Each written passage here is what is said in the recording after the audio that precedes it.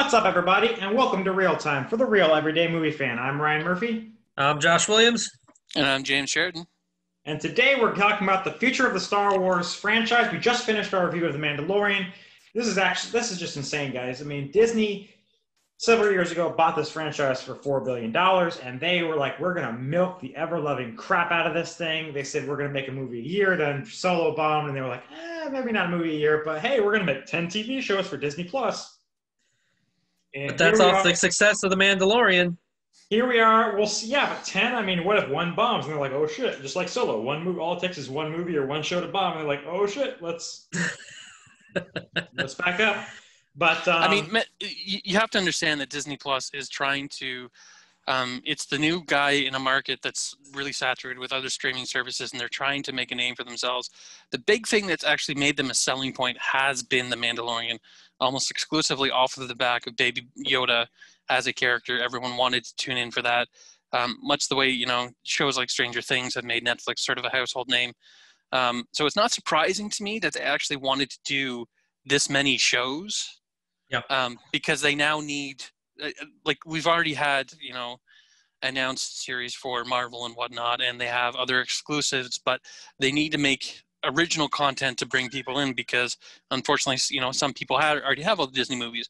I already have all the marvel movies and star wars movies. So having a streaming service just dedicated to those doesn't necessarily make sense. You need other content to bring people in.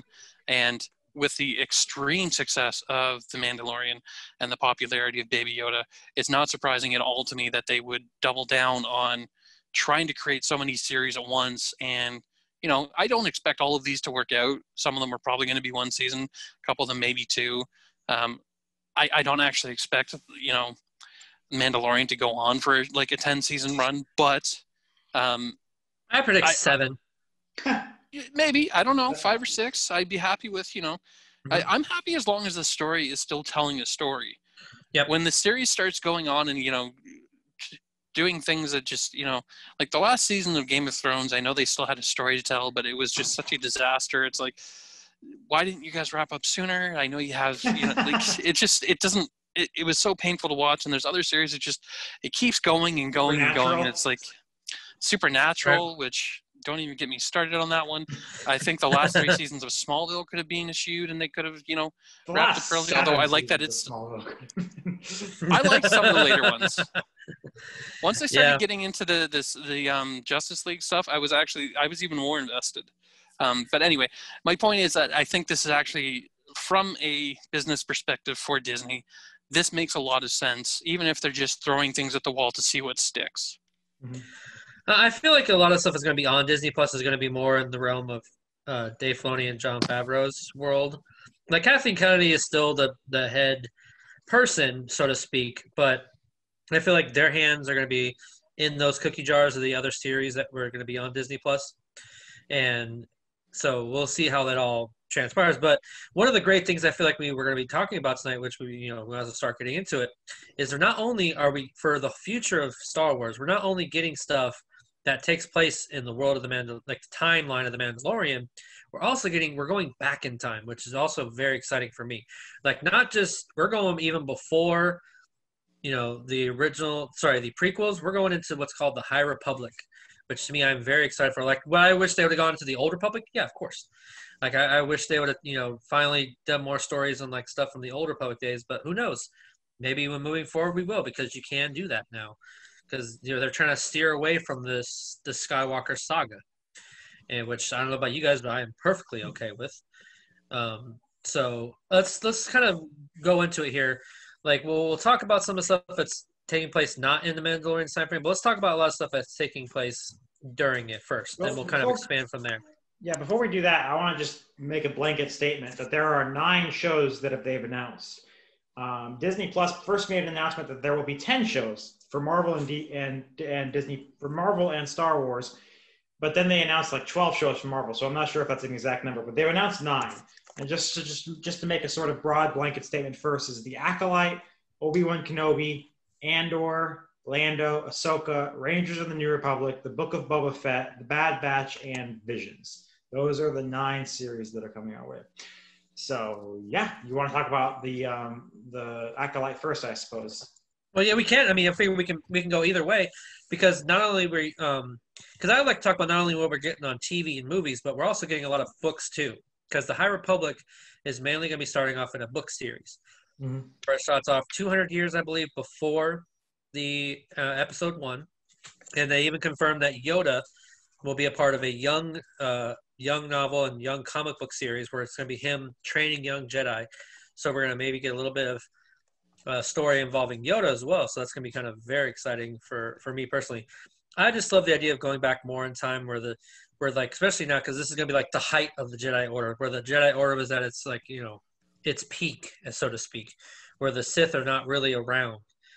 But when but then you go into the acolyte, which I'm assuming is going to be more gearing towards the underworld, where it's following the Sith, the the master and the apprentice, kind of moving through the underworld, kind of underneath the surface, kind of you know building their plans. Which who knows who's going to be the master and who's not? I mean, maybe it's going to take place about hundred years. So maybe what is the Padawan going to be? Um, Darth Plagueis? You know, it's something we can maybe think about. But what are you? What are your guys' thoughts on the High Republic? Do you guys looking forward to it all as I am? Like I'm kind of really stoked for it, even as you know books and the TV show. But what are your what do you guys think? Well, Well, um, glad you asked. Um, no, I first of all, I, I, you guys know me as a fan of the EU. I'm actually looking something up as we're talking because I'm not sure the exact timeline. Um, yeah, here we go. Um, so it, back in like '97, um, they did a, a, a mini series called Knights of the Old Republic, which took place took place 4,000 years before um, the Star Wars trilogy. 4,000.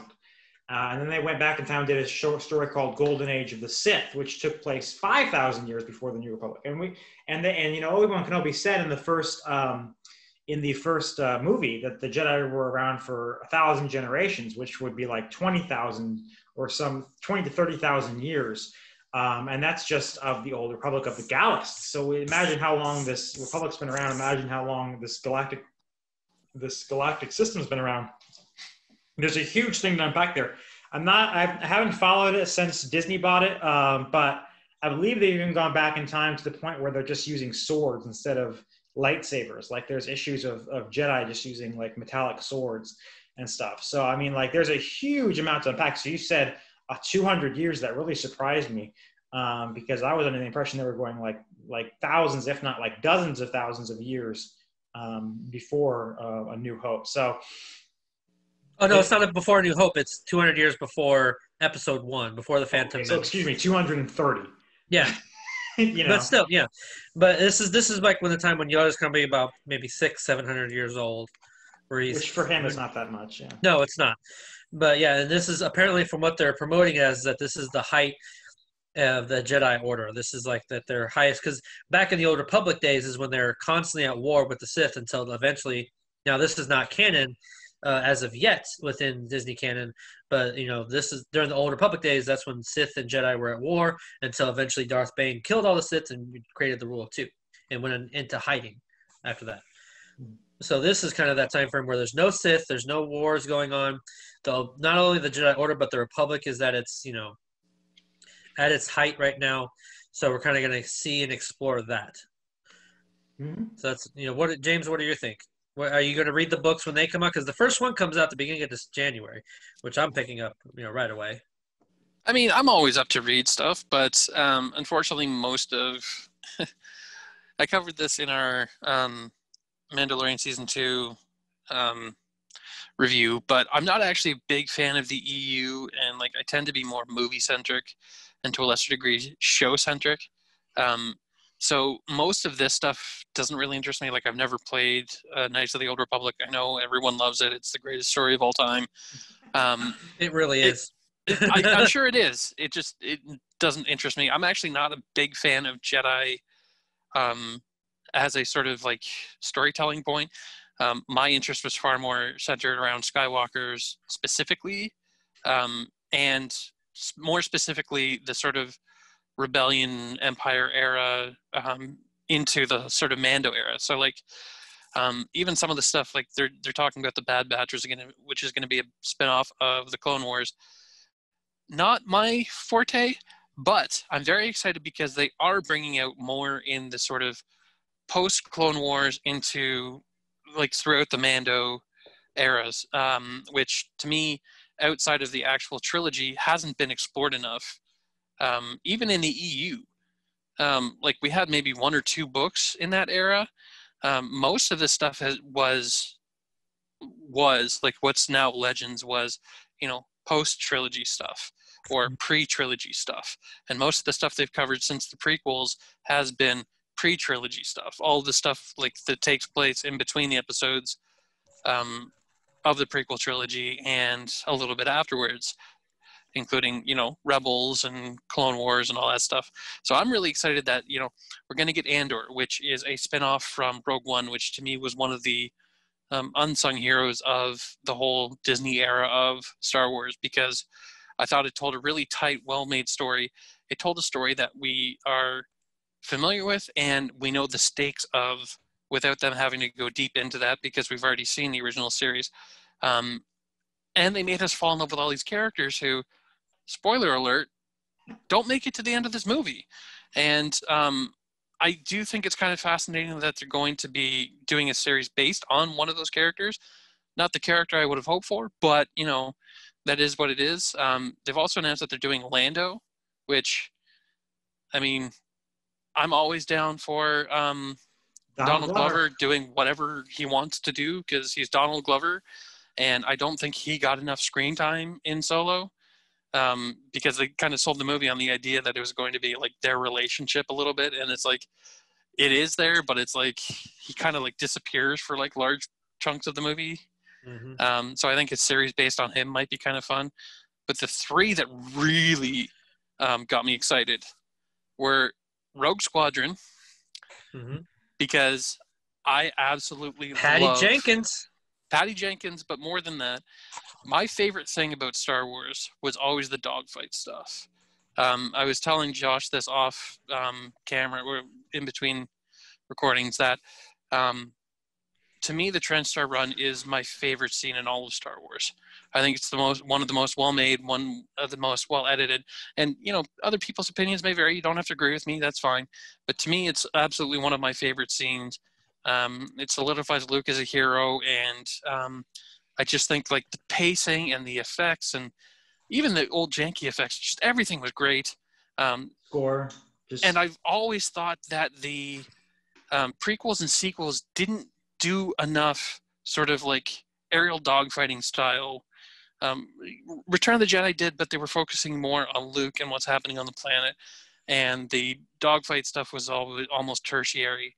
Um, the best scene in the prequels like, is the opening of Episode Three. Except that's not a dogfight; that's a chase scene. Yeah. It's set up as as sort of like a you know cowboys on a train sort of or like you know um, two cowboys on like horses you know chasing a stagecoach or something. It's not so much um, a dogfight as it is just you know the they're, the riding in a straight line the entire time. There's not really a lot of maneuvering and whatnot. Um, I think that was one of the appeals of Rogue One towards the end. That dogfight scenes out. In space yeah, that was one of my favorite things. Was just like you got to see Blue Squadron, who, you know, if you know anything about the history, Blue Squadron was originally going to be Red Squadron, but they couldn't get the blue to work on the blue screen, so they had to paint all the ships red. So they changed it to Red Squadron. So canonically, Blue Squadron was supposed to be at that battle at Yavin. Um, but now we know they weren't because they all died trying to get the Death Star plans to begin with which again, fucking, I love Rogue Squadron, or I, I love Rogue One so much. Um, so I'm super excited for Rogue Squadron because um, those games were great. That storyline was great. I'm very excited to see, you know, um, I, I, would love to see Wedge Antilles more on screen mm-hmm. because again, a character that's horribly underdeveloped. I. Obviously, they're gonna have to recast because um, Denis yeah. Lawson is way too old at this point and whatnot. And um, yeah, they did. They did. Touch, they touched on him a little bit in Rebels. I mean, I don't want to spoil anything for Ryan again, but I did like that that was in there. That was the best part yeah, of the Rise of Skywalker was was seeing um, was seeing Denis Lawson actually come back as as uh, as uh, as Wedge Antilles. But again, you guys aren't. Um, uh, James maybe a little bit more, but not. I mean, you, you've made it clear you're not a huge fan of the EU. Uh, one of the big aspects of the EU is the Rogue Squadron series of books. Yeah. Uh, in which Wedge Antilles is one of the central characters. Uh, he's Yeah. the leader of, of Rogue Squadron, which are extremely acclaimed um, uh, books. Uh, so I guess we segued into talking about. Rogue. Yeah. Well, I mean, going back to going back before we go off on those, yeah, talk about the other ones. I guess I know Josh be is really excited for the acolyte. Josh. is Well, really I am very excited for that. Not, and not just because that, I'm very excited for the High Republic area itself because we I think this is the reason why I love Old Republic and now the old um, Knights of the Old Republic and Old Republic itself is while I love I love Star Wars, I love the trilogies, I love the whole Skywalker that that whole time frame, you know, from Episode one to Episode nine, or, or yeah, uh, um, that whole gap in between. There's always these characters that are in it that we're familiar with, and it's sort of that familiarity that keeps us loving them. Which I still love it, by the way, I love it. But I think the reason I also very much love things like the Old Republic and now the High Republic that I'm anticipated for is we're getting, besides Yoda, brand new characters, brand new things to explore, going back into history, learning more lore. I mean, that's what the first the first uh, book of the High Republic is called Light of the Jedi, which to me just excites the hell out of me. Like we're getting more backstory now, more meat to the bone that for me might make make things more I don't know, I want to say important, but more I don't know, it just adds more meat to that to that lore of that that actually have more impact for the um, the other films and stuff we already know. So that that just to me is why I think I, I love those time frames, and so now that we're getting it, excites me. Like we're gonna see whole new characters, whole new journeys, whole new more lore. I think that's I, I don't want to go back on the Mandalorian, but that's why I love the Mandalorian because we're visiting all these planets that we'd never heard before. I mean, we have heard of them, but we never actually saw on screen, like Tython, which is one of the original planets of the Jedi Order, like was known as one of the original planets and is one of the big focal points of the original, the Old Republic. But Mhm. I don't know that for me. I, I know you guys probably aren't as excited for it, but that's for me is, I mean, guess I love Knights of the Republic, and so now I'm falling very much in love with the Old Republic game. So that's that's just why I'm very excited for. it. I'll probably reading all the books, the comics, and even Acolyte coming out. And I've heard, like, it's not confirmed yet, but I heard that's the reason they're releasing these High Republic books is because they want to make a High Republic trilogy, actual film trilogy. But these books are just sort of your introduction into the, the into this world, to then segue into a TV to into a movie series, movie trilogy that would make it everything canon. But anyway, so that, besides that, we can kind of move forward here. Um, there's besides um, the besides that, there's two series that I'm extremely excited for that we can probably talk about. There are two different time frames. One, of course, is Ahsoka. I mean, we talked about the Mandalorian. I mean, me and James are, you know, extremely excited for that. I don't want to go, you know, be too vulgar. I don't want to be too vulgar, but we're, you know, we're Just let it out. we're shitting in our pants ready for this. You know, we got hard we got hard-ons ready for the Ahsoka show. But what I'm very I don't know if I go excited for far, also, I am excited for it. Hey, when I saw Ahsoka, I went from six to midnight. When I saw Rosai on live action. You were, anyway. like, you were saying online, like, she needs a spin-off. And like the next day, you're like, we're making a spin-off. And I was like, John's got to be like, holy shit. freak the fuck out. but what I'm also excited for that we didn't really touch up on the Mandalorian show was we're finally and uh, finally getting an Obi Wan series when he's on Tatooine, and not only that, but Hayden Christensen is returning as Darth Vader, which I'm personally I can't see it, but Josh is for. wincing so hard right now. Like, he's cringing. Or James? No, James is yeah. James is yeah. We don't have the the video up, but he's cringing for some reason. I I love I'm I love that. Josh is the only person in history to be like, Hayden Christensen is back. Yes. In my defense, I'm I'm excited that Hayden Christensen is back. I think the guy did not get his. Um, he, he's a better actor than the prequels give him credit for. Yeah. I think the problem with his performance is George's direction, which is traditionally lacking. Um, I think Yeah. that he is a very gifted individual who unfortunately got a very bad rap after the prequels um, and didn't he, like his career kind of tanked and it's like I really wish this guy had a got a better chance at doing Yeah. some like if he got you know a, a, an MCU role or something I think that would like rejuvenate him or if he got you know some sort of franchise I or mean, he's- anything Yeah. like I would love to see his resurgence so him coming back in Obi-Wan is exciting the reason I wince at it is because Vader traditionally is played by two roles his voice and performance is done Uh-huh. by James Earl Jones. Everything about the character, the darkness, the the the edge to him is all in the voice performance. Physically, he's played by a bodybuilder. Yeah. And Hayden Christensen, as, as great and good looking and muscular as he might be, is not a bodybuilder. And one of the things that's always irked me is the, the shot at the end of Revenge of the Sith when Vader's standing there looking at the Death Star being built and he crosses his arms. Dave Prowse could not cross his arms.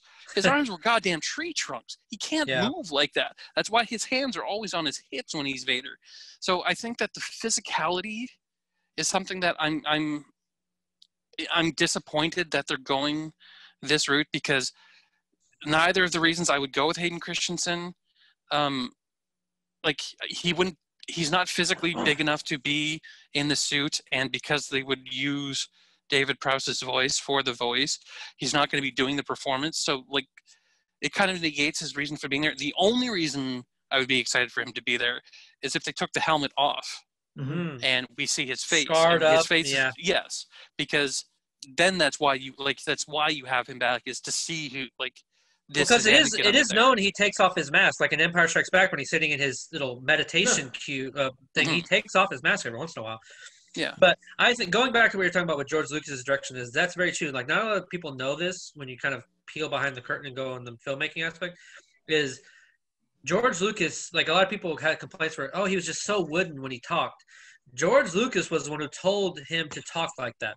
They wanted him to be on the same cadence of talking styles that Darth Vader was in the original trilogy. Well, also So George it's- Lucas is kind of a terrible director. I mean, he he he's always struggled with. He, he's that. a good storyteller and an Yeah. excellent editor. He No, is he a quit terrible directing director after because the, the, the, reason he directs is to edit. Everything Right, he, he- does as a director is to edit. Yeah, but he, he quit directing after the first Star Wars. That's why he didn't direct the second or the third. That's why he didn't direct the Indiana Jones trilogy it's- or Willow. Is because, That's he because said, he had a nervous breakdown that hospitalized him. Yeah, but he also said like I'm done with this. I like they, they joked during the making of the first Star Wars movie that all he would ever say was faster, more intense. Uh, he he couldn't communicate with people. Uh, he he struggled writing dialogue, which is why he also didn't write the screenplay for the Indiana Jones movies or the Star Wars sequels. He just said I just want to go. I just want to write the story, be executive producer, guide it along, and and have that role and, and bring my story to the screen. Did the same thing with Willow. Um, Creative genius. all those things. Yeah. Yeah. he's a creative genius, but th- that's when he was best. And then 20 years later, he said, "You know what? Maybe I'll try writing the screenplay and directing again." uh, and everyone wishes he had. I mean, Nat- Natalie Portman uh, has openly stated that she really struggled with her career. Her director in Closer, uh, Mike, the, the movie Closer, her director in that movie, Mike Nichols, had to write her letters of recommendation saying, "Ignore the Star Wars prequels. I promise you, she can act." And of course, eventually, she won an Oscar. Uh, even Ewan McGregor sucks in those movies, I think, and he's a great actor. Qui-Gon Jinn oh, is an Yeah. absolutely gifted actor. Liam Neeson, just an absolutely stunning actor, and half of his lines in that movie are just garbage Yeah. because he's just so. It, it's like talking cardboard.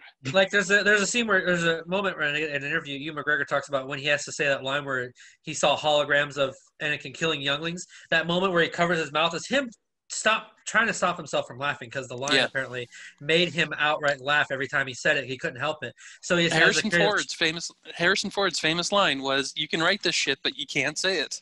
Yeah. Like But let's- it's we got we got off on a tangent here, but that but talking about the Obi Wan series is, is the fact that also Ewan McGregor is coming back. Yes. We're gonna see now he's at that perfect age now where we're gonna get it. Uh, they haven't said what time frame it's gonna be in, but I well, I have a- mean, we know it's got to be between episode Oh, three and four. no, obviously, but we don't know like if it's like when Luke's still like a child or if he's like preteen. Like we don't know where it's gonna be starting off at. What I would love to see in the show because we don't know what we're gonna get. I mean, obviously, oh, we can't talk about that because spoilers. Because Ryan has not seen Rebels, so um, there's one thing I would like to still see in live action between him and a different, a certain character. Asajj Ventress. That's the one character I know from Clone Wars. Man, No, you Yeah. you know this character. you do, but we're not going to spoil it for you. The fuck. But anyway, I would love to see it in live action. But other thing I would love to see here's a, here's a little kind of little history within the original uh, movie. Like when I remember when when Obi Wan rescued Luke and C three PO and R two from the sand, the the Sand People.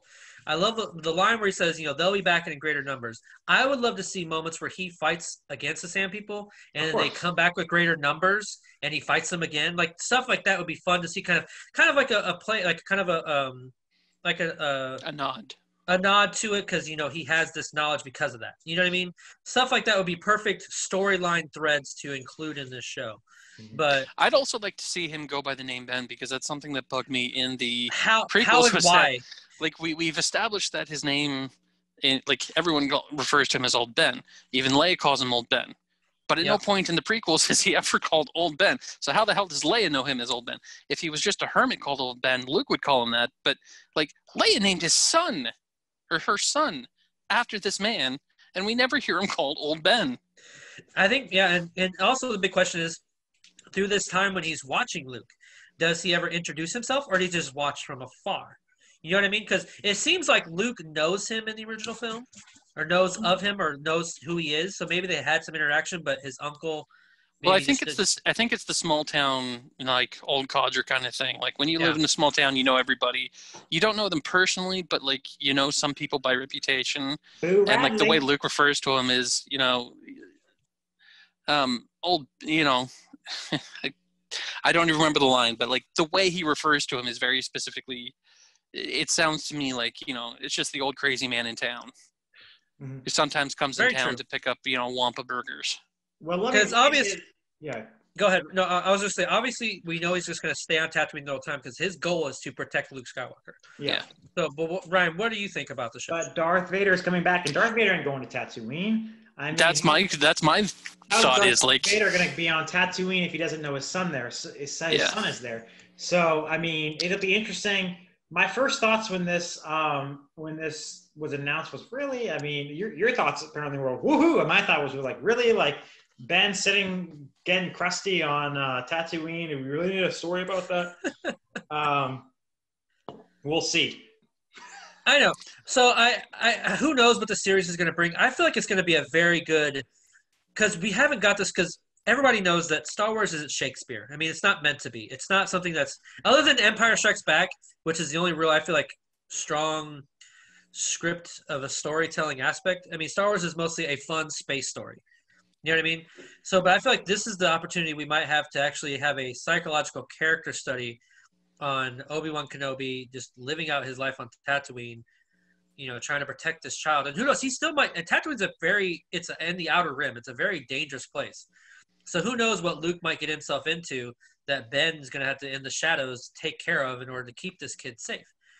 Well we're we're assuming that Luke is going to be involved in this. I feel like, Like- he should be. I feel like he honestly, if not like an actual, like at least you see him every now and again in the show because he's going to have to be able to keep up on this kid to know he's Riding okay. around in this T16, shooting womp rats. you know, like I feel like you're going to have to have. I'm just afraid of- I'm- I'm just afraid we're going to have another Jake Lloyd situation where we're going to have, like, again, Jake. I have nothing against Jake Lloyd or his performance. Um, I think he took way too much crap for what happened in those movies. He wasn't a good actor, and his performance wasn't good. But he had nothing to work with either, and he's a kid actor. It's his first like major role. He'd been in a few other movies Jingle all the way. but he was like a side character like he was a secondary character this is him carrying supposedly carrying a movie um, and i don't think he was helped at all and i think that um, we know that he went through extreme bullying um, after these films and i feel really Yeah, bad for him and i don't want to see another kid go through that because fans are merciless to kids so unless this kid is like really charming and really fun which isn't luke's character um, I don't know that they're like I don't know that I necessarily want like I wouldn't mind Luke if if he's like sort of a peripheral character. Like we we we see them reference him and we see him sort of in the background, like Obi Wan's watching him. But I think that much of this story is going to have to take place off world because we know Vader's going to be part of it. Um, Va- Vader going to Tatooine is going to be really troublesome for canon reasons because he would obviously sense his own son there. Yeah. Uh, he would sense at least, at the very least, a very strong force sensitive person. We know from canon that he's looking for force sensitive people Yeah. for various schemes that he's working on. Um, a couple times, you know, he's even trying to train his own apprentice. Um, you know, um, and like in order for Obi Wan and Vader to meet, they have to be off planet. I don't know if this is a fan theory or if this is canon anywhere. I'm trying to remember where I, I got it from, but I've actually read that um, like part of the reason that Vader stays away from Tatooine canonically is because of like deep seated trauma about you know his mother was murdered there. He was, you know, treated like shit the entire time that he lived there. It's nothing but bad, mem- like it's horrible childhood for him. Yeah. Nothing but bad memories. He would never want to go back there. So I think that um, whether or not that's actually accurate or not, I think that there is some truth to it. I do think that Obi Wan's adventure is going to have to be off planet somehow, Mhm. um, And and, he's going to have to come back to the planet at some point. Like this is going to be an adventure that pulls him away from there. It also, some it- reason. you, you guys are talking about how long it has to be before New Hope. It has to be pretty long time before New Hope because remember, like Obi Wan does It's say been in the- 20 years since the prequels, man. I know, but like the, the Obi Wan does say in the first movie, I sense something, a presence I've not felt since last week. No, no, it's you know, Yeah, no, that's very true, and that's why I feel like maybe when Luke is, I don't know how it's gonna work out with the Vader. We don't know if we're actually gonna meet, or if it's gonna maybe just flashbacks, or we're just gonna cut to him every once in a while. You brought up an interesting point that I think we we might predict about, or we, we discuss, because we know that during this time there are a bunch, a shit shit ton of Inquisitors looking for Force sensitive people. Mhm. Could this be be an indication where we don't necessarily see Obi Wan or Darth Vader meet up necessarily, but we cut to Vader to where he seeks has you know his Inquisitors finding Force sensitive, and maybe one of these Inquisitors goes to Tatooine or somewhere close by, and Obi Wan finds out about it and goes to kill them to prevent them from getting to Tatooine. Luke. It does raise some questions be writing for the show. It does But- raise some questions as to why no one, like, Luke stayed safe. Like, we know Obi Wan's protecting him, but is he somehow shrouding the Force so that people can't True. detect him or something? Like, is that part of the story and journey? Is he, like, did he, like, because we know he learned something at the end of Revenge of the Sith about becoming a Force ghost from Yoda, who learned it from Qui Gon. Yep. Um, but did he unlock other secrets that we don't know about in these films as well? Who, um, like, does he know how to sort of hide his presence in the Force? Is this why no one's found Obi Wan, even though they're hunting former Jedi and new Yeah. apprentices? Is this why no one's found Luke? This now, is- of course, this is a backwater planet too, so it could just be the Mhm. excuse of no one went looking there. Yeah, it could very well be. Like, that's what kind of excites me because we just don't know what we're going to get. It could go a very deep, just very deep character study, where he's just kind of looking after him and, and go on little tiny adventures on Tatooine, or it could be where it's a little more expanded. And Yeah. I think maybe what could be fun is the idea that Inquisitors come around and he has to fight one, and eventually have to kill them off because if he fights someone, that Inquisitor's gonna and they escape. That Inquisitor's like, I found Obi Wan Kenobi. I found Yeah. him. You know, because Vader wants to find him. Like he's been on this hunt until uh, you know a New Hope eventually comes about. So well, there's we'll also this- in- in this in the original trilogy. There's also the sense that you know everyone thought he was dead. yeah, exactly. Yeah, everyone thought he was dead. So we'll see what happens. Um, but we we kind of talked about that quite a bit. So let's move forward here, guys. What's some? Let's have someone else kind of bring up a uh, one of the shows they're excited for, and we'll kind of talk in depth about it too. Uh, Ryan, what about you? Out of all the ones, movies or otherwise? I mean, I have this list of nine of them. That's um, and we've talked about the first two, the Acolyte and Obi Wan Kenobi. And uh, if we're going in like chronological order, the next one would be Andor. Now, James already said that he's excited for Andor. For me, that's another one, and I'm like, really? Do we really need to cover that much? I'm And- excited for the era, not for the character. Okay. Um, I, I I have no feelings on it whatsoever. Who could, you know? I think I like the idea of Andor because we always thought about what he brought up in Rogue One was a very interesting point, and I think it's going to be explored here. Obviously, is that when we view the rebels, we kind of view them as these good guys who are fighting for justice and this, but we don't realize that they do some dirty and grimy stuff too. To make they make bad choices. That was shown in the very beginning of Rogue One, where he shoots that guy in Yeah, the back. It was meant to exactly. be side. He's So fairly think- merciless, and how did he get to this point? Um, like obviously, like they again, yeah, they established that he is not a fully moral character, and he's willing to do some terrible things. And I think it would be interesting to see a series either of his progression or like because obviously it's, this isn't going to take place after Rogue One. Um, so like seeing him progress to that point would be f- kind of fascinating. I think. because they even because he even said I've done some horrible things to, for for the rebellion. So we're obviously going to see these things that the rebellion does that may not be as kosher as some people would like, but it's the reality of it. You know what I mean? So that's that's going to be kind of fun to explore. All right, so moving on if we're going chronologically, what's next, James? We I mean, spent like we spent like 20 minutes on all the other ones, and we're like, sorry, but it's I mean because there's not there's I mean for for Andor's show, I mean we kind of know what we're gonna get essentially. You know what I mean? Like Yeah. we're gonna get some adventures with the rebellion. I mean, we There's also may not as much weight to Andor as there is with Obi Wan, Ahsoka, um, Right. Rogue Squadron. Um, uh, one of the ones. I don't know if anyone else is interested in this one, but um, I'm gonna say it. I'm super excited for a droid story because I'm not. R2D2 is my favorite character, and let's go ahead and talk this- about a droid story. Like, let's, as much as this Like, so- series was hated, I feel like this is going to be a pre uh, a sequel in spirit to Droids, which if Now, did they people say aren't it's gonna be a- familiar, you mean the shitty uh, cartoon from the 80s? Whoa, hey, watch your mouth, boy. That was not a shitty series. That was a brilliant series with a slamming soundtrack. I fucking love that series. That's why I, I- love Star Wars because it was actually my entry into Star Wars. No, and it's hold the on. reason uh, today why R2 is my favorite character. you may I- know more about this, James, but is this going to be just mini shorts, or is this going to be a full-on animated series? I don't It- know no, it's a- what the it's a extent of movie. it is. It's a movie. Oh, it's a movie. Oh, It's a- okay. made- no, it's a the- made-for-TV uh, my movie on Disney series. Plus. Say what? Yeah, my thing says it's series. This series will introduce us to a new hero guided by legendary duo R2D2 and C3PO. Well, then we've heard different things, but either way, Yeah.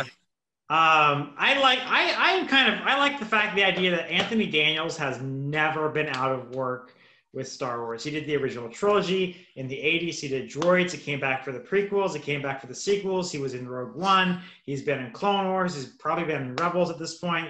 Uh, he's doing this. He um, he he narrated the Star Tours thing, and uh, he uh, he's appeared on the Oscars as C-3PO. This guy has made a living out of this role. He might have, he might hold the record for the like the longest and the most hours uh, clocked in a role ever. And rest in peace, my boy Kenny Baker. Mm-hmm. But yeah, I'm excited for this, even if it's just you know it, voice acting and like it's gonna be like goofy and silly, but I don't care because I love the original droids. Um, and I'm excited for this one, even if no one else is. So I mean, it could be cute. It could be fun. So, I mean, I'm not uh, totally against it. it's Um, one thing- R2D2. One thing That's we all were, I care um, about. one thing we missed actually uh, before Obi Wan that we're not talking about is I'm very excited for it. I don't know how you are, James and Ryan. You have no really knowledge of it, but I'm kind of excited for the Bad Batch. Like, not a lot of people liked it when they debuted on Clone Wars, but I thought they were awesome and badass. I don't know, James. Are you excited for it at all? Eh, I mean, I'm trying to. I don't know if this is going to be the Bad Batch during the Clone Wars era. Um, I think it's supposed to be post Clone Wars era, which is It going to be interesting to me because this is post Order 66 then, which means that they're either like I don't. Are they Imperial? Are they anti-Imperial? Because these are supposed to be like Ro- Renegades. yeah. Um, so I don't know. Like that will be interesting. I don't know which way it's going to go. If they are anti-empire, then I'm might be a little more interested. But Yeah. um, I mean, I did the trailer reaction for it, and by the way, guys, keep a lookout for that. I'm gonna be editing those this week, so keep a lookout for all my trailer reactions. Did to you ever do um, the trailer reaction for the Marvel shows? Because I'm really interested in hearing your thoughts. I did. As I did. I did. Okay, Uh, we'll talk about that off sure screen. that's coming out. We'll talk about that's coming out. They're all coming out. Don't worry. But no, I did the trailer action, and this takes place in the trailer. It talks about the Order 66 happened, and they're. It seems they're still working for the Empire, but they don't answer the question whether they had chips in their head either. You know I hmm, mean, they they don't they don't they don't flat out say that or not. So it'd be interesting to see because these things are these you know the Bad Batch are supposed to be you know uh, but how it seems people who are like before clones who are experiments that went wrong, then they just put them in their own little squadron. and that's so been my question: is like who post um, Order 66 um, is still under control of the Empire? Like, is Rex the only one who's not? Um, kind of deal. Well, so, We we well me and you know the answer to that because of Rebels. oh, did I miss something in Rebels? It's not Were, Just- were there other ones? it's not just Rex. I've got to watch that series again. I'm missing Yeah. something. I forgot something.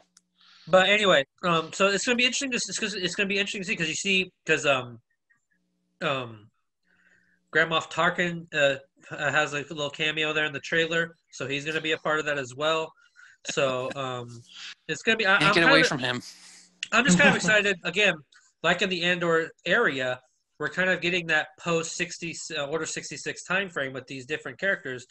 Yeah. A lot of people were excited for it because they just weren't, you know, they're kind of lukewarm on the Bad Batch in general. I thought they were awesome, like badass and different. So it's kind of good to just kind of dive into those characters. So I love anything in the era where, and this is one of the things that really bugged me about Revenge of the Sith is that they cut out all of this great backstory about the rebellion and how it actually kind of started from a bunch of senators who were not so kosher with what was going on in the war. Um, and like all, all of those characters minus Padme became leaders in the rebellion um, later on. And it's like, all like that's one of the reasons I love Rogue One is because it's about that era of leading up to the rebellion as we know it in the film. So like anything in that era I'm just hungry for because I just think that's like the Empire is one of the most fascinating periods of time I think.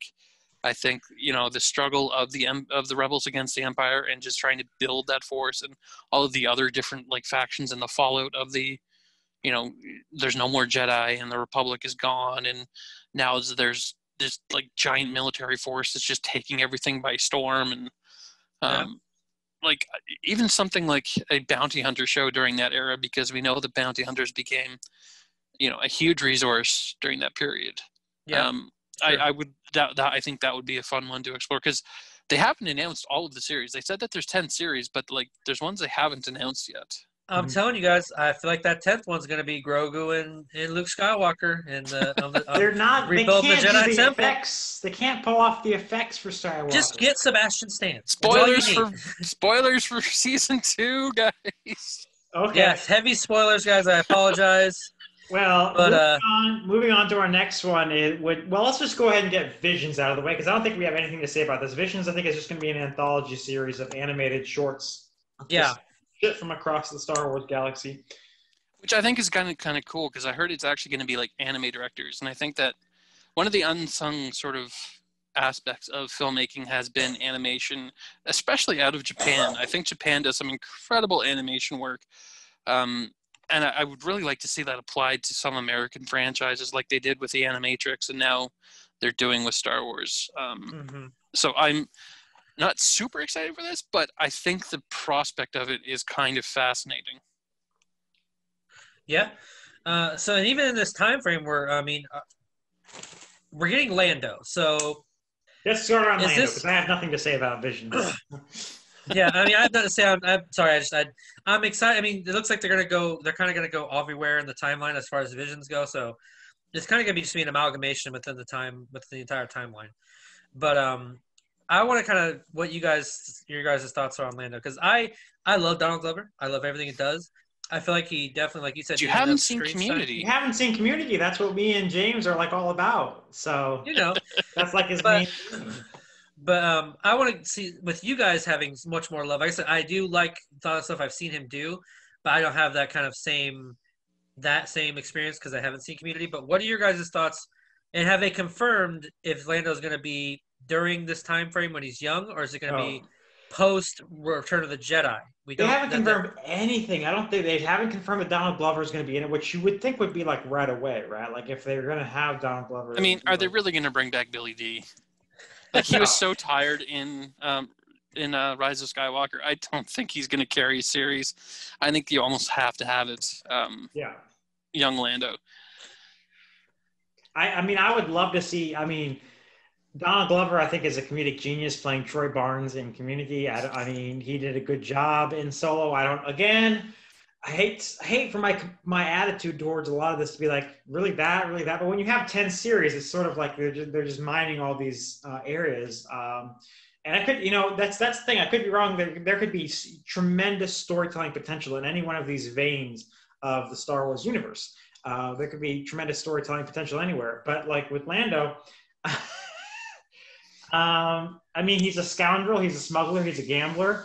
There's there could be tons of stories to tell about that. His time with the Millennium Falcon. I've read the books on Lando Calrissian, which um, you know, uh, Lando from the EU, the Lando Calrissian and the Flamewind of Oseon and all that sort of stuff. So, well, there, there's there they name drop. Um, I'm trying to remember the line, but Return Return of the Jedi they actually name drop that he was um, Battle of Taanab. Battle of Taanab. Yeah. Um, I'd be fascinated if it was about that. hmm like That showing that kind of like that was that was part of the impetus for solo was that you know we're, we're getting to see how he meets lando how he meets um, chewie how he gets the falcon him doing the kessel run which was not what we expected it to be um, In less than five Yeah. parsecs. well, according Um, to Rey, it was twelve, but you know. I love the I love the idea that Star Wars is filled with all these um, references that the expanding universe has tried to sort of explain before about you know every time they make a reference to something that happened it's like uh, well someone must have told them about my experience with Battle of Taanab. Um, there's there's a there's a ref, there's a whole thing in the EU about that. There's um uh, in episode two I haven't felt you this tense since since we fell into that nest of gundarks. You fell into that me- me- that mess, master, and I rescued you. Well, there's a whole uh, book about that. There's even you about- saying that line is just so cringy it's just the dialogue is so bad sorry And there's a there's a line about um, um, the the battle of uh, what's the thing in episode three where it's like uh, you missed the report on the on the siege of whatever, and there's a oh there's a whole never mind I'm getting off on a tangent here, but yeah there's Yeah. Anyway, it could be good yeah they can take any line and make a book out of it yeah Um, I think what they're trying to do is take those lines and make movies and shows out of it. Yeah. and I'm Yeah. kind of all about that because some of the backstory and this stuff is stuff that I I wanted to see how, you know, Han, you know, did the Kessel Run in less than 12 parsecs, in less than whatever. Um, Yeah. And like how you know what Lando did at Taanab and all these other things and um, I don't know. I'm willing to see any of these. I'm willing to give any of them a chance because a it's Star Wars, and b I think under um, some of the talent that they've announced here, I, I, I'm kind of fascinated. One of the other ones that we haven't mentioned that I'm kind of excited for is the untitled Taika Waititi film. yes yeah. we can go to Simply that because it's Taika Waititi and everything he seems to touch is gold right now. Um, you know, we can- I, I'm one of the like few people. he's he's the only one who made a worthwhile Thor film, and that includes Joss Whedon. how dare you? He sir. ha- he hates he hates because the Joss, Thor movie, because Joss Whedon what, did like an uncredited rewrite in the Dark World. Is that all you're talking about? No, no, because I don't think Thor was very good in any of the Avengers films. I think his best outing That's true. was that's one of the um, one the of my third Thor gripes. film. Yeah. No, I, I you see when we first did our initial re- uh, review, Josh and I back in 17 of Thor Ragnarok, I ripped it to shreds, and then we I lost the love it. footage, hated it. and we never got to put that online, which is probably good because I would have received a shit ton of hate. You Uh, but uh, watching it again, I'm more merciful towards it. I, I like it a, a bit more, but I still think it was they they went too hard right from the beginning towards comedy, which was too hard of a jump to me. But at any rate, um, I, I haven't seen anything else the guy's done. Um, he seems like a nice guy. He was on Mandalorian. Well, yeah, he directed the man. He directed the season season finale of The Mandalorian, which was good. Um, but uh, but yeah, I mean, I just I just hope it's not like a complete joke fest like Ragnarok. To me, Ragnarok just kind of went like, okay, let's. And I think the I- reason why I think the reason why he's going to get his own show is because he did so well in the season finale of season one of The Mandalorian. Yeah. Which is the reason why I feel like he's getting his own movie. Which is let's let's go into speculation world here. What what is it going to be? Is it going to we going to go old? What Dude, would we be a don't perfect? fucking know. Like, I know we don't know, but but you don't know. But I, I find it fun to kind of go into the speculation world. It's like be what kind of anything. Like, it Guys, we're missing the obvious answer here. It's clearly IG-11's backstory.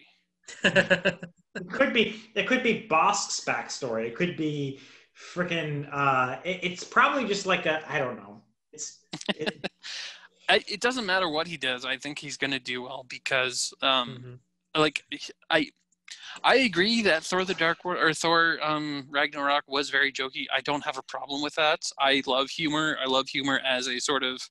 I think humor is very important to storytelling in, um, especially kind of as a as a means of um, I don't want to say release, but um, it there's a catharsis to humor, and I think that it works very well in a lot of these very emotionally troubling sort of stories. Like you strip away the humor in Thor Ragnarok, and it's a depressing damn movie.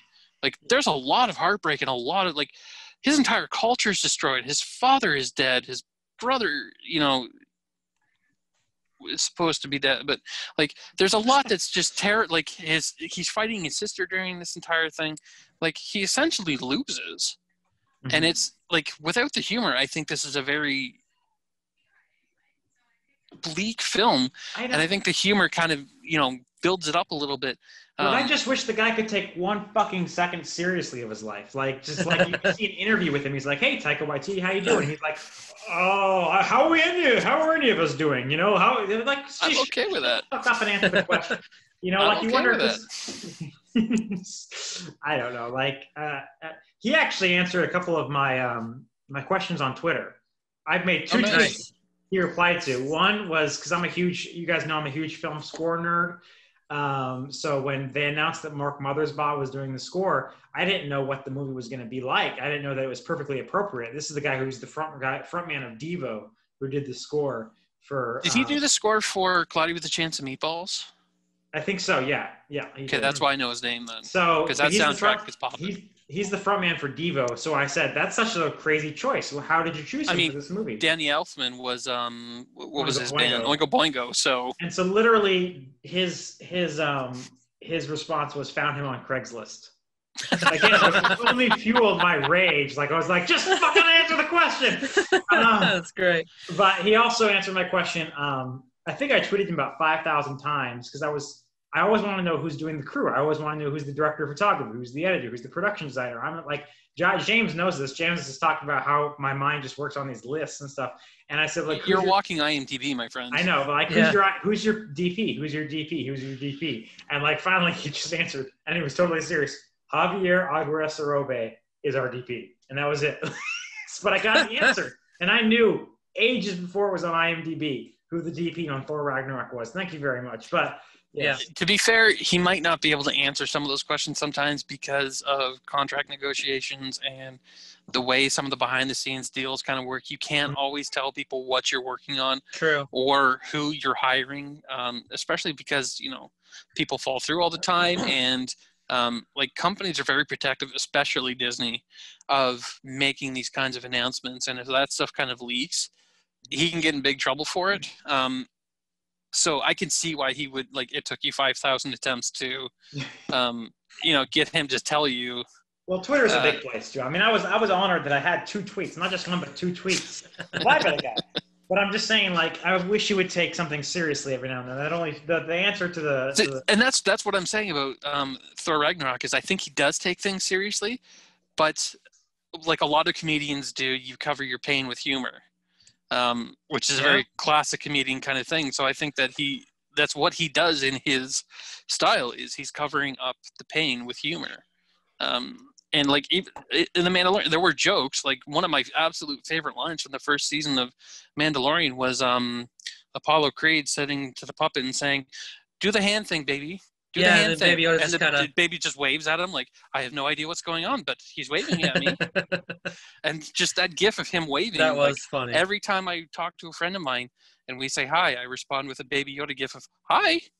Don't know what's going on, but hi, I'm adorable. but I So think that's a perfect. Oh, go ahead. Yeah, I was just gonna say. So literally, we have no idea what Taika Waititi's doing. We have no idea what to talk about. We're just sh- shooting the shit about Taika Waititi as a as a director and as a writer, and and and the fact that he just you know he's he's he's a constant joke. But I, I'm all about this project just because he's attached to it. Like, and an Oscar winner. Yeah. He's an Oscar winner Yeah. now. So True.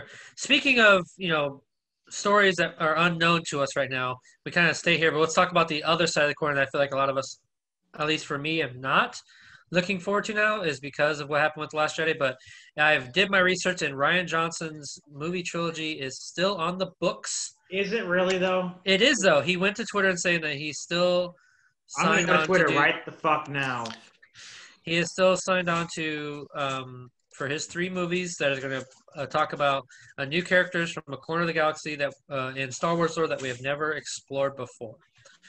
So I'm, with- I'm okay with that because I'm not. uh, I'm First I of all, the guy I'm- needs to learn how to fucking spell Ryan. Okay. After that, I I, like um, the Last Jedi. I don't think it's a perfect film, but I think that he he he asks some very interesting questions about the Jedi, about Luke's character, about um, you know the nature of the Force and Rey's path and all that stuff. Again, my problem with the sequels is that there's not enough of a cohesive through line in terms of character and story. But I think his entry was a fascinating one, and I think it was interesting within the scope of Star Wars because it challenged a lot of ideas that um, I think are fair to challenge. And for him to go off and do more, I'm kind of interested to see that. May not be for everybody. I'm okay with that. I liked his entry. I'm going to go see them. So I'm I- excited to see more because I feel like he left a lot of things unanswered. I mean, my experience with Rian Johnson is this: I don't really blame him for the Last Jedi.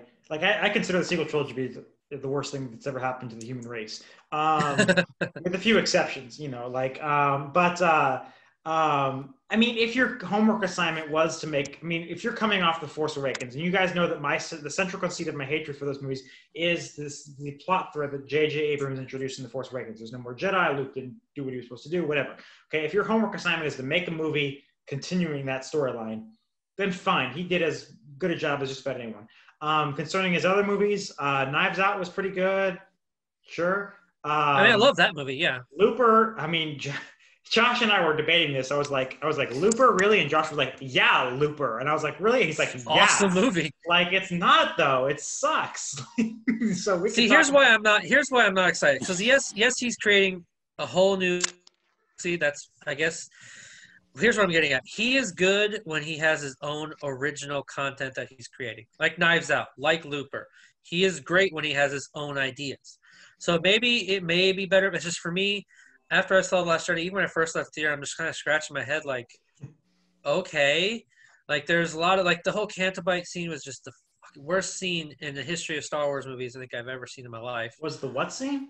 The scene where they go to that the, the Canto Bight planet where they go to try and find this this this guy Yeah. that they need to find, where Benicio del Toro's there, and it's just and how that all transpired was just the stupidest thing ever. I feel like that was forced on him though because it doesn't really fit with the narrative or spirit of the rest of the film. The only part of it that actually works is Rose's line. And it's a shame because Rose's character was not a terrible character.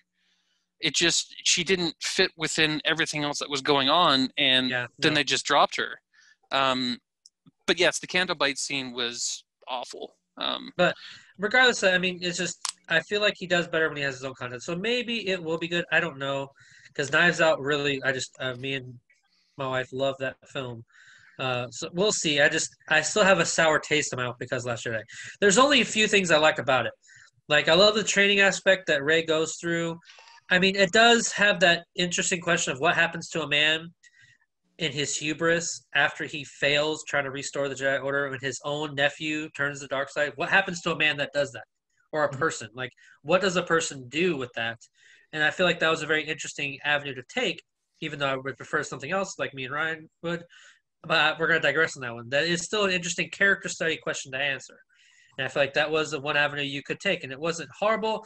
I just feel like how he died was the stupidest thing, too, Mhm. obviously.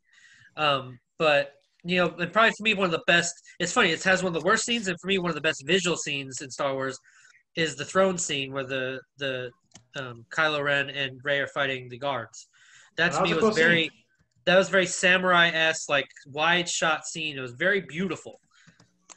So, but I don't know. We'll just we'll see what he has in store. I just, I'm like I said, still have a sour taste in my mouth from it. See, I, I'm going to disagree because I liked Luke's death. I liked um, all of like the confrontation scene between him and Kylo. That was great. Um, but I mean that all of that I love. Like I love that um, he basically went out the way Obi Wan and Yoda did, where they kind of gave themselves to the Force and like dematerialized and just vapor, like just dis- like he's so exhausted from like the idea of doing a battle entirely with a projection on another Yeah. planet in another galaxy like just that is a force power unto its like that is just mastery level of the Force. Right. It shows how far this character has come as a person, as a you know Force user, but also as like on his journey of uh, like he no longer looks that disheveled. He looks sort of similar to what he used to look like. You know he's got the shorter cropped hair.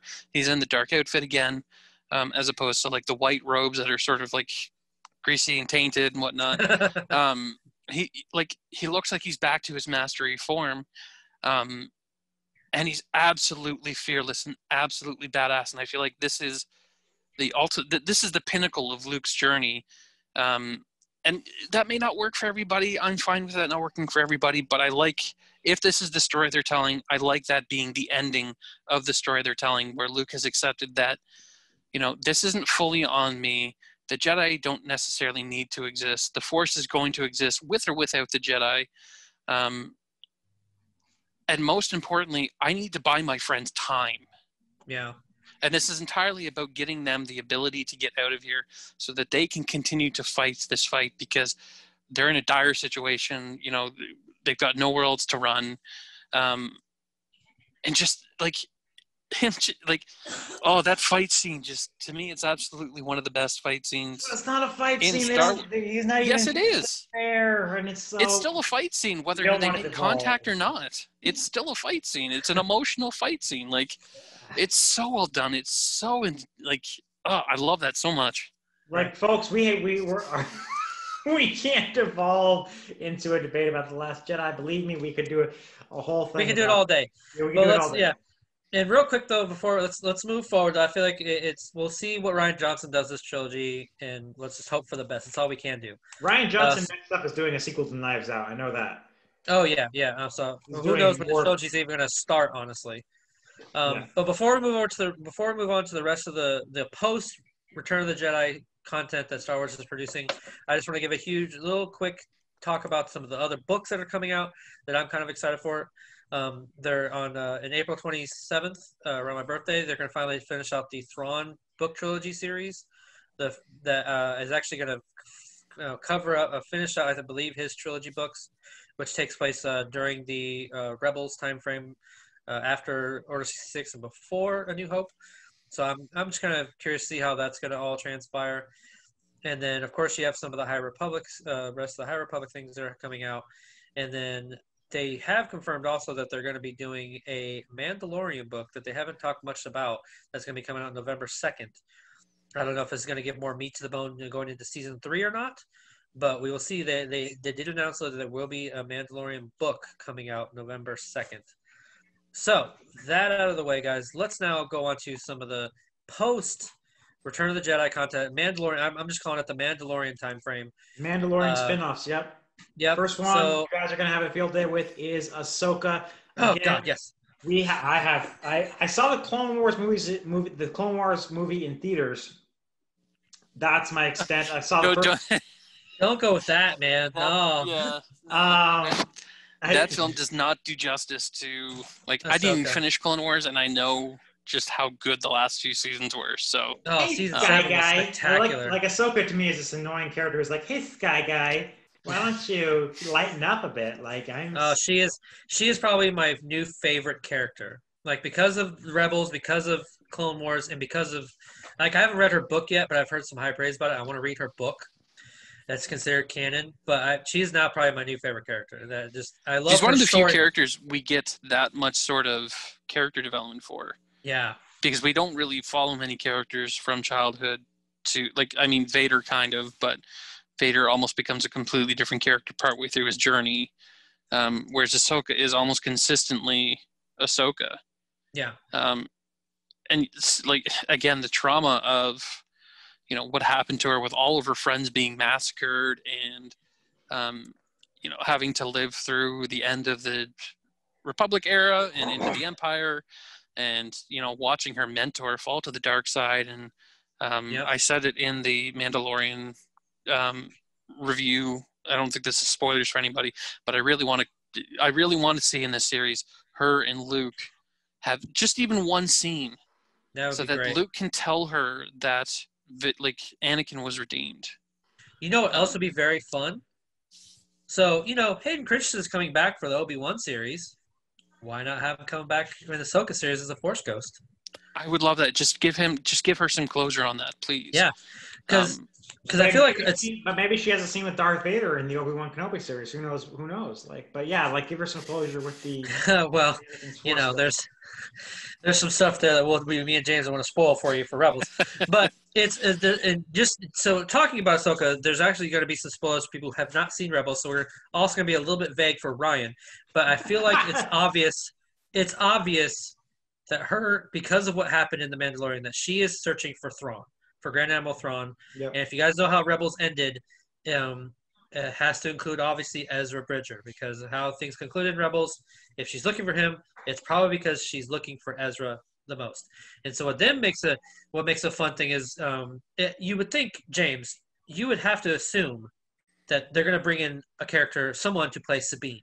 You, I mean, I, right? I was hoping they would do that during um, Mandalorian because I actually thought the second, um, right? Me too. when they brought in Bo-Katan, I actually thought the other one was going to be Sabine. Um, Mhm. Even though they they wouldn't be like, there's history there, but um, but given given the, I mean, because Dave Filoni did say the epilogue of Rebels, he does not distinctly say when that takes place.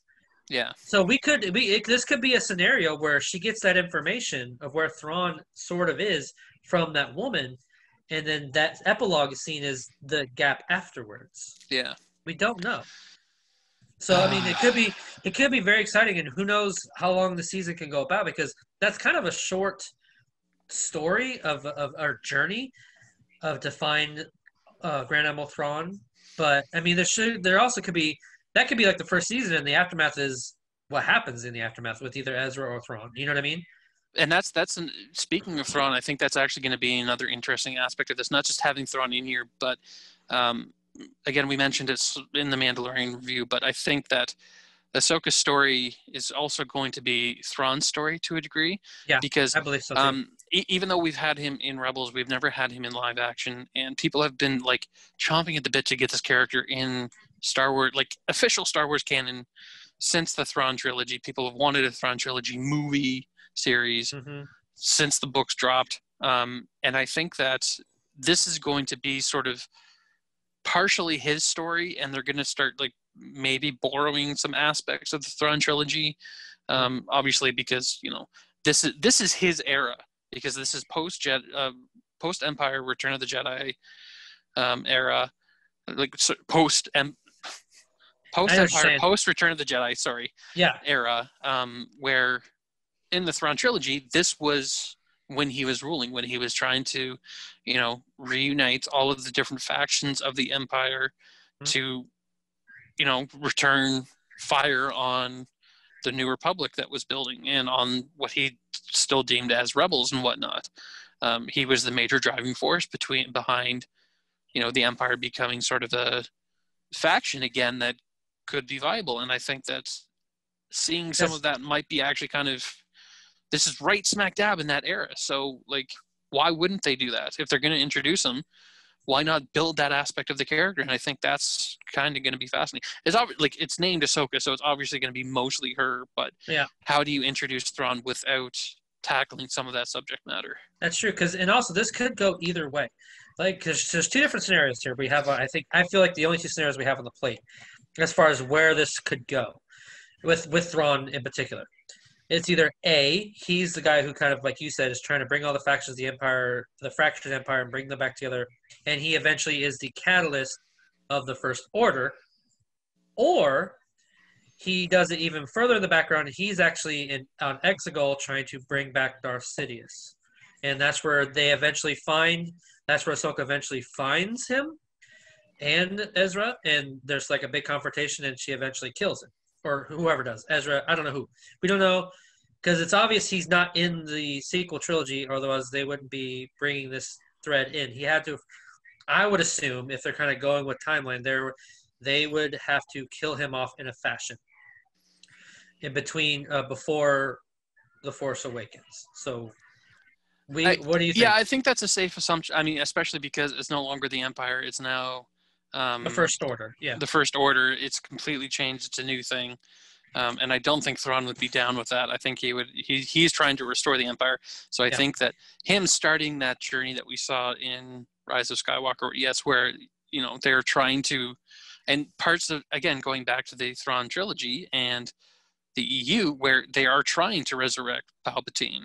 Um, I do like we're we're we're seeing seeds of what we are guessing is that in um, Mandalorian with you know the, the the biological experiments on Baby Yoda and um, the implied use of like they- they're doing something with this force sensitive character. I think that the most reasonable conclusion is either force clones, which I think would be a huge waste, or yes, they're trying to resurrect Palpatine. Or Um, or or it's Palpatine in the background. He's already alive, and he, they're trying to create Snoke. It's one of because they because Well, they, think- they, they kind of they kind of alluded is- that they kind of alluded that Palpatine is he was using Snoke as his puppet, like he Yeah. was the face of it all, where he was in Yeah. the background. So I, yeah, that's why I don't think it'll be Snoke. I think Snoke is just supposed to be. Uh, Snoke is a big waste of a character, to be honest. he is, he really is. But Um, You guys If will we're like this. That's actually the one thing I enjoyed about not enjoy. That's too strong a word. That's actually the one thing that I um, thought was a halfway decent decision because to me, Snoke was the worst character ever created in the sequel trilogy. Like literally, not only do you have another Skywalker falling to the dark side uh, and putting on a helmet and literally becoming Darth Vader, but you have another albino scarred guy sitting in the chair behind the scenes. Yeah. introducing the dark no. I won't argue with you about Snoke. Snoke of- was a big one of waste the- of a character. But so one of the best ideas of the sequel trilogy was for in Rise of Skywalker for J.J. Abrams to say, yeah, that was just Palpatine because it was just Palpatine. Yeah, no. And that, even though I think the Palpatine twist in that was garbage and Forced. came absolutely out of nowhere, it was forced. I think it's it's a better resolution than Snoke as a character, and that's why I would rather see them developing Palpatine, and Snoke is just a Yeah. byproduct of what they're trying to do. Like maybe he's the failed experiment of trying to Mhm. create Palpatine. now here's the only reason I believe it's Snoke, and and we were going off on a tangent here, but we're kind of we're still in the realm of Ahsoka because of what might happen with Thrawn. But anyway, I the reason I think it's Snoke is because when we're going to the when the Mandalorian when they're going to these labs and they're seeing these these creatures or these these beings in these tubes, that's very reminiscent of what you saw in the opening scene of Rise of Skywalker, where you saw versions of Snoke in these liquid tubes.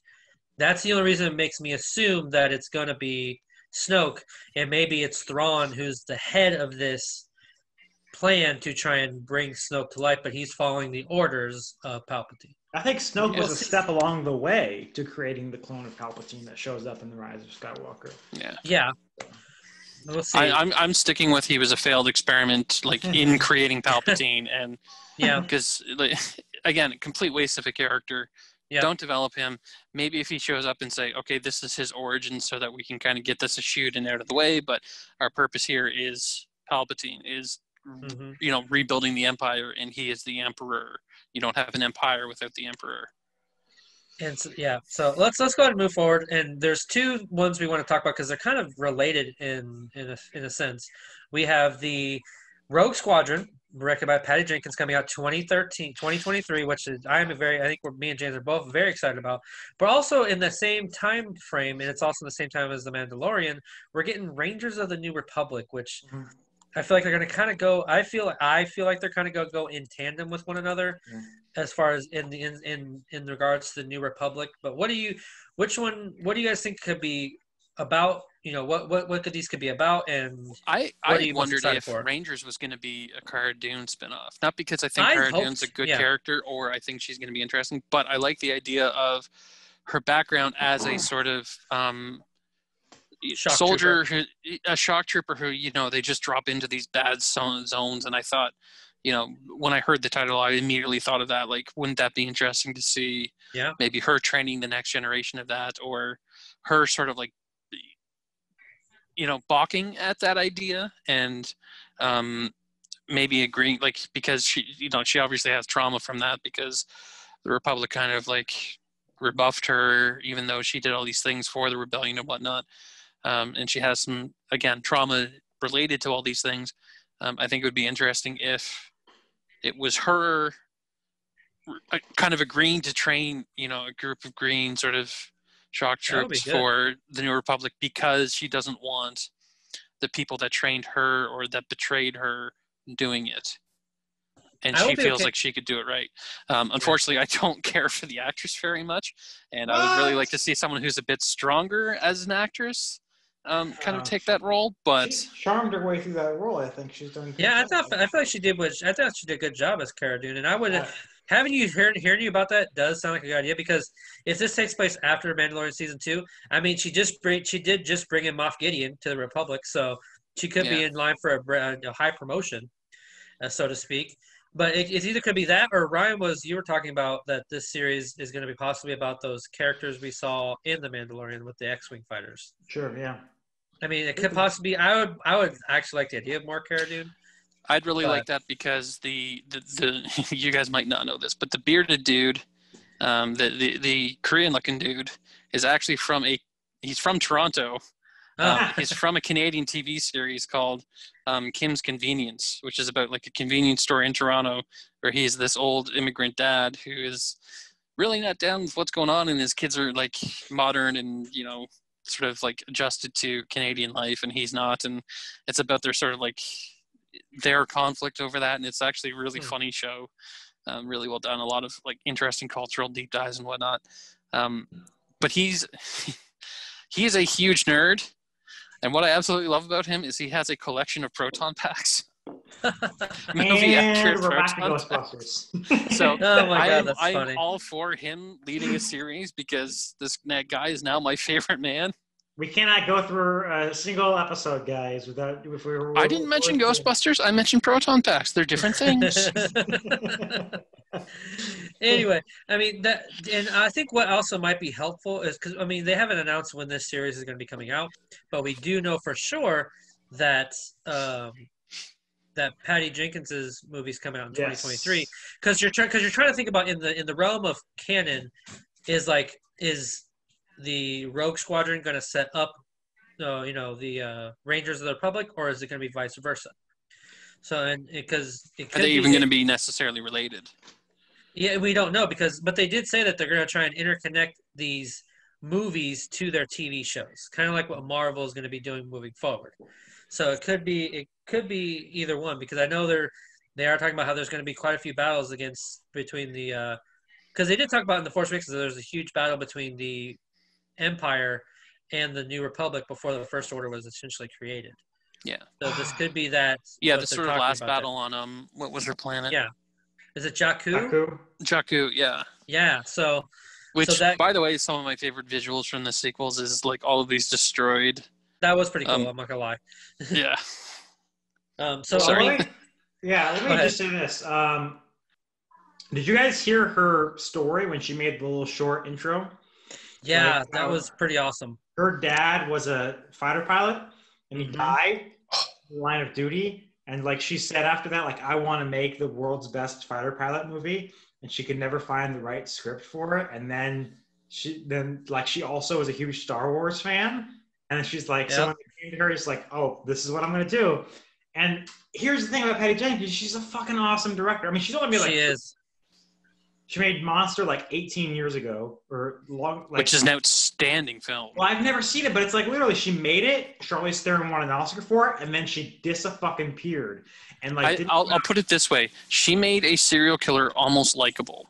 Yeah, Right. like You almost relate to this character. And she, she didn't come out for the Wonder Woman for like 15 years, and then she made Wonder Woman, and it was coming off the heels of Zack Snyder, who sucks. Sorry for this, you know, uh, and and she made a couple of movies. So I mean, she's just balls out awesome.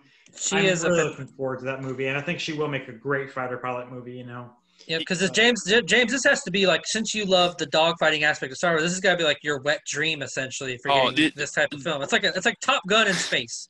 So I'm, I'm going to say, um, hearing that she was looking for a dogfighting film and like that's her purpose in this movie to me makes it like a thousand times better and i'm already so hyped for this film because i love the rogues i love um you know just the dogfighting and like the just not even the dog like the heroics of those characters and just like the amount of skill like one of the things I did enjoy about the sequels, or that I do enjoy about the sequels, I, I, there's a lot, but it's watching Poe Dameron fly because he is an outstanding pilot, and seeing outstanding pilots is like one of those things that I don't feel like we get to actually see a lot. Like we see Han do some crazy shit, but Mhm. that's not outstanding pilot. That's just crazy shit because Han is Yeah. Buck wild when it comes to flying. but like getting to see the rogues actually doing like some of the maneuvers that they've come up with, and you know some of the heroic runs that they've done, and I just and I think we mentioned it before briefly that you know the end of Rogue One was all kinds of exciting to see what they can do with you know modern sort of effects with Mhm. dogfighting and all that. So knowing that she's into this for that reason, just Excites me. Yeah, excites you. I think I think I'm as excited for that as I am for Ghostbusters Afterlife. the reason I think um, this could be exciting because I'm thinking about the story. Like, what kind of story could she tell? Since it's about obviously a squadron of people, what I think would be interesting if this takes place during the Mandalorian timeline is if what if they bring back Wedge as like the head of the squadron, but it's not focused on him. It's about maybe one of the characters within the squadron that he's sort of training along the way. Well, that that I'm- was my thing. That was my idea. Was I, I've already kind of borrowed this for um, the the other one, the where the thing of the New Republic. Um, but what if it's Wedge training a new generation of Yeah, like he's recruiting pilots for this? Bros, bros, you, I don't think either one of you have actually read the Rogue Squadron series, the the X-wing series by Michael A. Stackpole. But you, I have not. I really recommend it to both of you. Um, but it's that's what it is. It's it's literally about Wedge being the commander of Rogue Squadron. It's a humongously critically acclaimed series. I know what it's about, but they Yeah. like are they? They aren't necessarily going to use that as the impetus for this I know, film. but they should. I'm wondering what They this really- film is going to be. I feel like they're going to. I mean, I feel like they're going to because it would make the most sense. I, 'cause I don't. I don't want. It's not because he's not a bad actor. It's not because he's a good actor or a bad actor. It doesn't matter. I feel like if you're going to include Wedge, which you should, if you're going to stay within the lore, because right now in this timeline, he is like the best fighter pilot they have besides Luke Skywalker. Mhm. You know, Who's so- off doing his own thing now? yeah, who's off doing his own thing now. So uh, in my imagination, he would be the commander of this squadron, but it wouldn't focus on him. Like I said, he would be more of like the guy you would see along the way of this of the character's journey of learning to become this fighter pilot. Now, a lot of people, like not a lot of people. I had had one friend because I was talking, I was speculating this with a friend. Like, oh, what if it's Poe Dameron? I'm like, no, Poe is like an infinite during this time frame Yeah. or Yeah. a child. Poe is because like in Not even. Awakens, Poe's like in his thirties, so I don't even know if he's even if he's maybe just born, like he's like a toddler. So that would not be the case, you know. So I'm just I'm I think this would be a perfect it's the perfect opportunity for Patty Jenkins, and we might just I think we're in store for something special. I think for with her. So. Yeah. So moving on, lastly, we'll, we'll touch briefly on it before we move on to the last one. But um, because we talked about it in Mandalorian season two, and we're gonna try and not be as spoilers to ruin it for anybody uh, who hasn't seen the last of Mandalorian season two. But um, I'm excited for season three. Uh, it's coming out next year. Now there was a lot of confusion online about um, because this and Boba Fett are scheduled to be coming out December of 2021. Now mhm. there was a lot of confusion, like, oh, well, is Boba Fett going to be the new Mandalorian season three? Are they done with Din? That's not the case. It's been confirmed that it's going to be his own spinoff. Boba Fett's going to have his own spinoff series, and season three of Mandalorian is coming out. And this one, I mean, not to get, I mean, I guess we're going to have to go into some spoilers here, folks. But if you don't want to hear, just kind of mute and move forward. But I mean, I, like I said, we talked about before. I think it's going to rely heavily on Bo, uh, Din and Bo Katan's journey of retaking Mandalore, and you're going to get snippets between there and then with uh, Grogu. But I think that's going to be the main journey. No, I think it's going to be like that first season, and they're going to retake Mandalore. No, I feel there's going to be a lot of more journeys along the way because Bo Katan needs to. I think it's going to be a lot of recruiting Mandalorians, like a lot of in, in adventures in between those time frames. Yeah, what did you guys call it? Quest, quest, fa- quest for. Um, Quest Fet or Fest Quest. I mean, because I can't even speak now. Um, yeah, quest fetching. Yes. Because regardless of what you think about it, though, James, the, that's what the Mandalorian show is. I mean, season one is was the epitome of that. I don't have a problem with Fest Quest. Yeah, yeah, but I can't say the word. but I feel like that's like like they're gonna go to a It's getting certain late, clan. guys. But you know what I mean? Like they're gonna go to a certain clan to recruit them. But like, oh well, you want our help? Well, then you're gonna you need to help us with this. You know what I Mhm. mean? Maybe this Yeah, is where that's we get exactly Sabine. what- That's all what all the episodes are. Is literally the Mandalorian. Like I said in our Mandalorian review, could have been three times shorter if they'd just gone from point A to point B. But instead, it's if you want to go to point A, you have to go on this quest and this quest and this quest. But Yeah. no, I mean, I So I don't think- know if it's going to be about Mandalore. I don't know that because he doesn't give a rat's ass about Mandalore. Like literally at the point where they end. No, but now he is now stuck in a situation um, due to events in Mandalorian where, um, whether he likes it or not, he is going to be intertwined. So I don't know if it's going to be the entire season necessarily, but they are going to very clearly have to address um, the, the sort of burden that's been placed on him accidentally hmm and the the conflict that he is going to face due to that and that doesn't make i'm realizing Oh, that's making no sense to anyone who hasn't seen it No, but I'm yeah. trying to be as vague as possible without spoiling well, if you haven't seen the because- Mandalorian season two, let me just say this: Luke Skywalker shows up. Good job, buddy. But no, so and by the way, guys, by the way, can we just nerd out about the fact that Katee Sackhoff has done a fantastic job as Bo-Katan, even though we only didn't even episodes? recognize her Oh, I did. When I saw it, I was like, because she voiced she voiced Bo-Katan in the Rebels, i didn't know that and and in Clone Wars. She also she voiced her in Clone Wars and in Rebels. I'm fact So- i checking gotta as we're rewatch those man Yeah, a- and so it was kind of satisfying to see her actually don the Be the armor in real character. life. yeah, and she just did such a badass, fantastic job. So I, I, I feel like with a, I don't know, as, as a, a prominent figure in the nerd community, I feel like you almost have to have her as like Din's new companion since Grogu is not there. That's why I feel like she's gonna be there for this journey because it's gonna still focus on Din no matter what. I mean, even even though Grogu has taken over the love of the fan the fandom, it was still Din's story regardless throughout season one and two. Well, do you guys think what's the deal now that people have seen his face? Is he? I mean, he has to wear the helmet because that's like the show, like the poster of the show is his.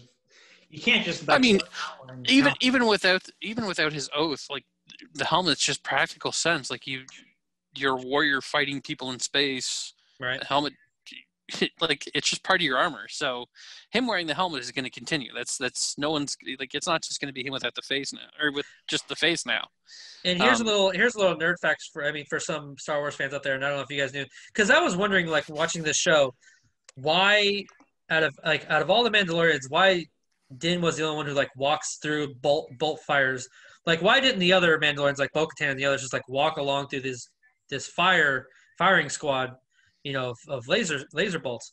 And I learned that um, not all Mandalorian like okay, so all Mandalorian armor is made from Beskar, but it's Beskar plated underneath uh, underneath a layer of metal, whereas Din's is pure, nothing but Beskar. So like yeah he they, he has like super explain that suit armor.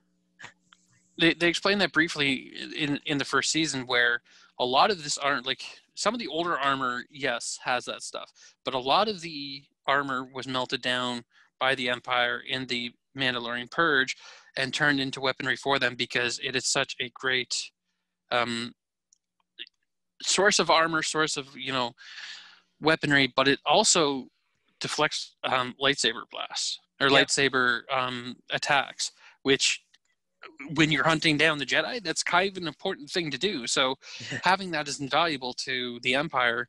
Um, so I, a lot of yeah, I can understand why a lot of their armor isn't necessarily that. Whereas you know he just won this ice cream tub of literally an ice cream maker. Yeah, Um, you guys know that backstory, right? yeah, yeah, we all yeah. Okay, yeah.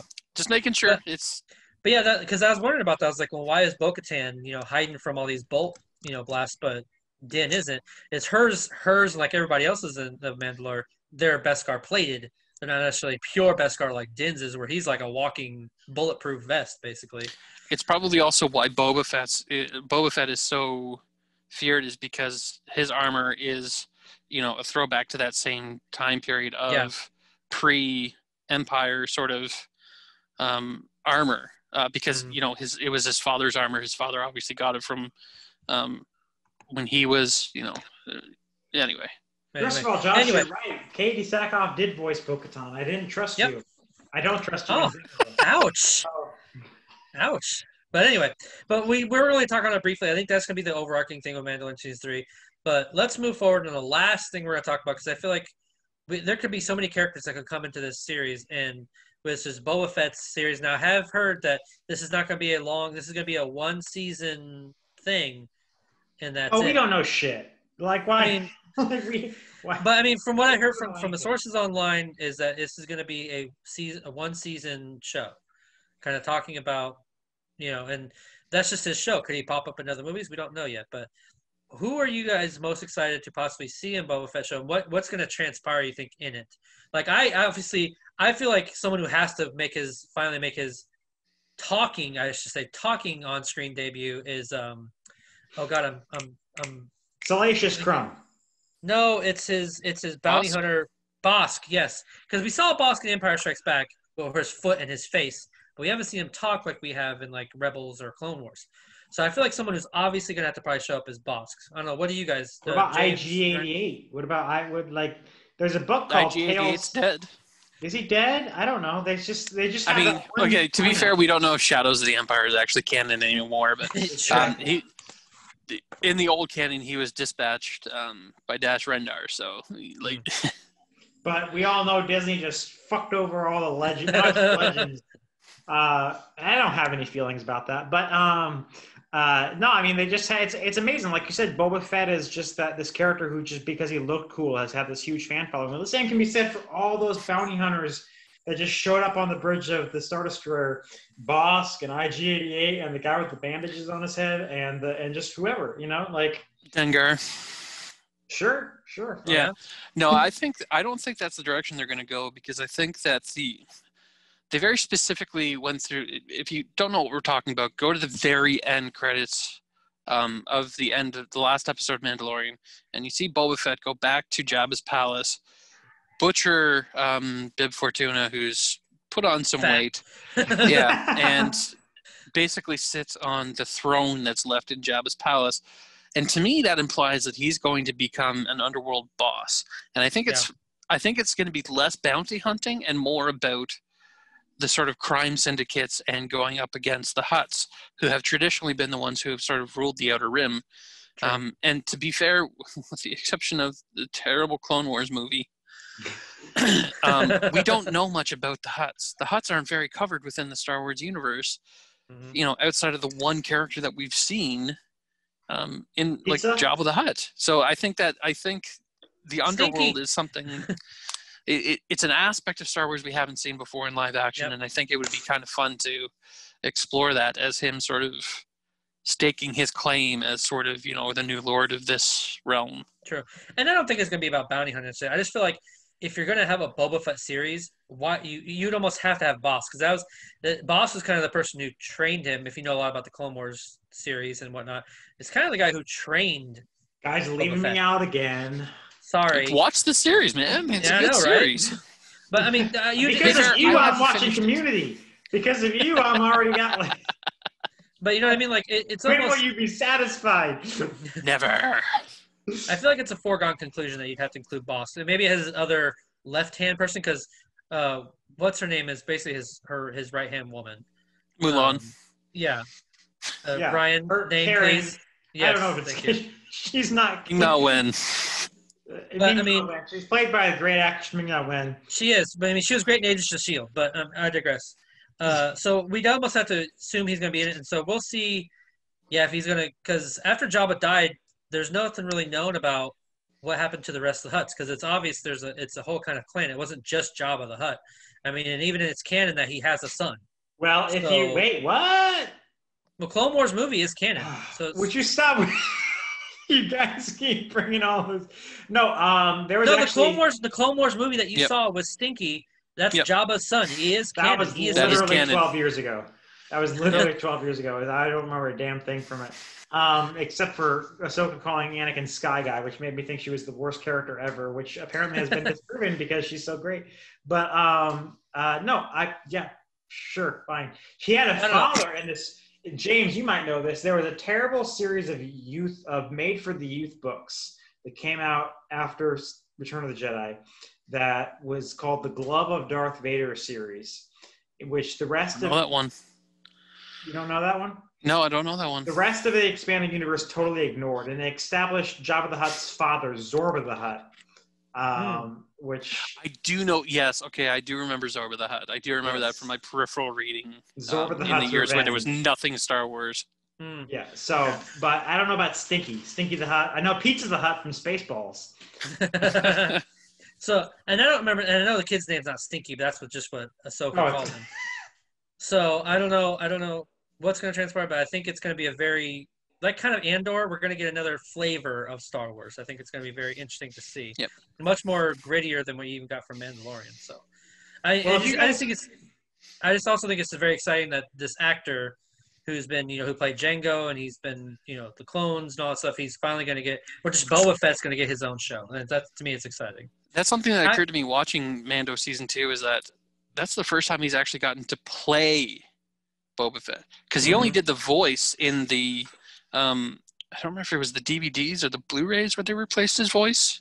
Yeah. It was But in one of the subsequent special editions, they replaced Boba Fett's voice in Empire and Jedi Yeah. um, with Temuera Morrison, but he only he never played Boba Fett and No. until now, and now he's Mhm. actually getting to play like the most iconic character he's been related to, and it's like And one last That's one last exciting. question. One last question. I throw at you guys. Do you feel like it should stay shrouded in mystery, or do you think this series is gonna he's gonna tell the story of how the hell he got out of the Sarlacc pit? Well, they got to tell the story of how he got out of the Solar Expanse, but it's probably not any more complicated than he blasted the fuck out of there. But I mean, they still got to show it. They still, you know. I'm more interested with how he got separated from his armor That's true. Yeah, I want to see. I want to hear about that too. A lot of. because that's that taking the armor from Boba Fett is not going to be a simple feat. Mm-hmm. So So a lot of good questions to answer, but I I don't know about you guys, but I'm extremely excited for Star Wars now, and I think it wasn't because of the sequel trilogy series. It's because of what's being done with the Mandalorian. Wait, can I just take a moment to tell you guys how I feel about the sequel tril- trilogy film? No. No, Okay. no more, no more. okay. But I just um, R- Ryan, and- have another beer, bud. Excuse So, me, I I, mean- drink Truly. Got to watch those carbs. but I, I think we can all agree that the, the the outlook now, because after the sequel came out, the sequels came out, there was not much known what was going to happen with Star Wars sequels. We had a very sour taste in our mouths because of Rise of Skywalker, with the exception of James.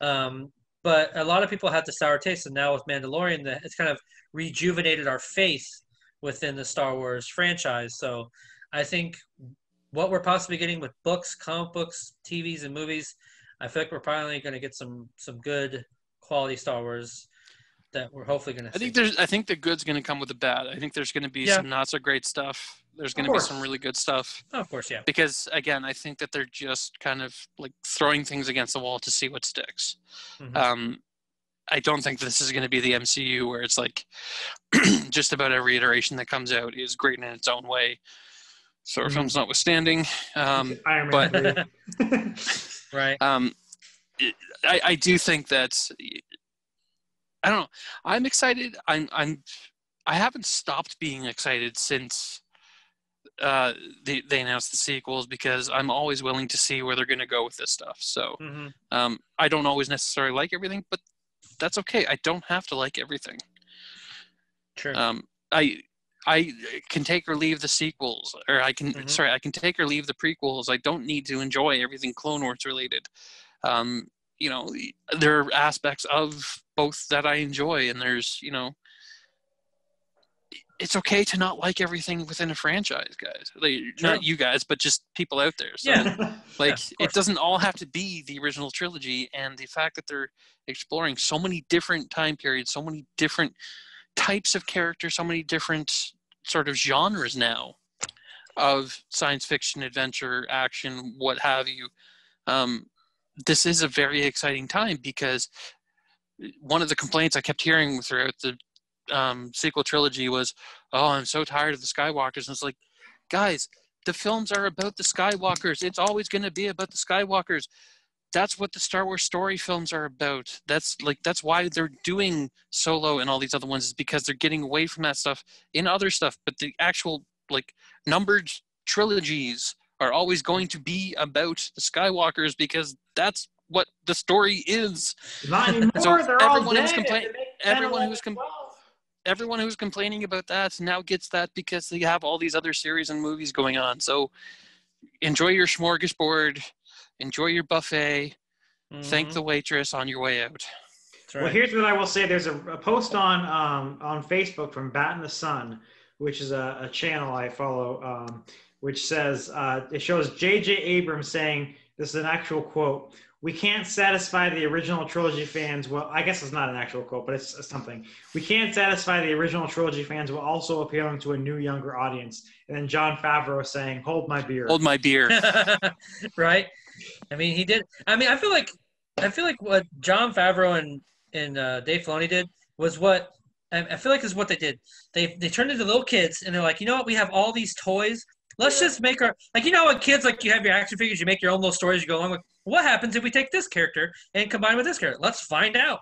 Like you know, like they just they're basically kids playing with toys and making stories as they go along. to the But point where one of my favorite things about especially the second season was um, the episode where they go to the um, where apollo creed and um, muscles go with um, mando to um, the imperial station one of the vehicles that they the, the vehicle that they steal is inspired by a toy one of Yeah. the most jankiest ridiculous star wars toys ever where it's literally just a hunk of plastic where you put the stormtroopers in the side of the thing and you can open a door and put a little pilot inside and Mhm. it's like i love that they are drawing inspiration from just anywhere in the universe and making things that like it's a stupid toy like but everybody just- had it and it's so cool that it's now canon like they've Mhm. made it into an actual thing so it's like yeah sure the toy is actually based on something in star wars not just something we made to sell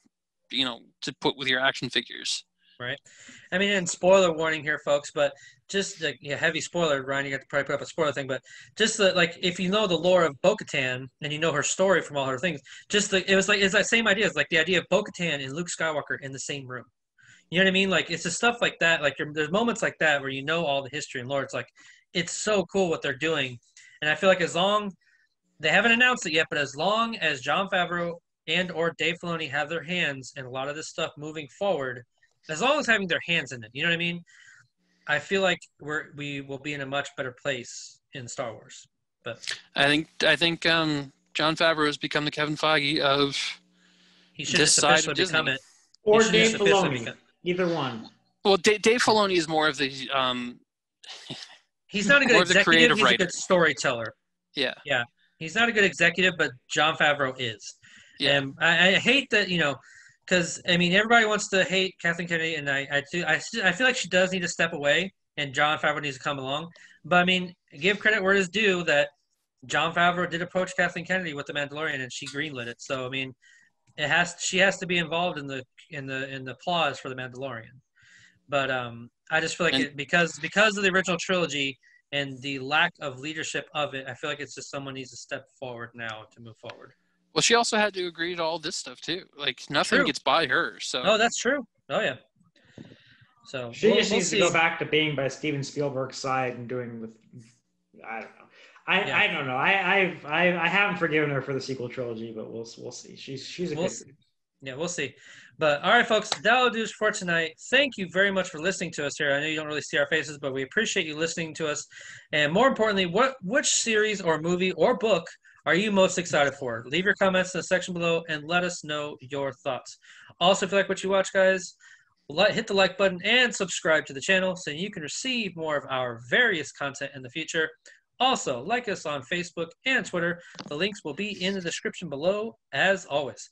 All right, folks, that'll do us again. Again, I'm Josh Williams. And I'm Ryan Murphy. And I'm James Sheridan. And thank you for keeping it real. With ReelTime. Good night.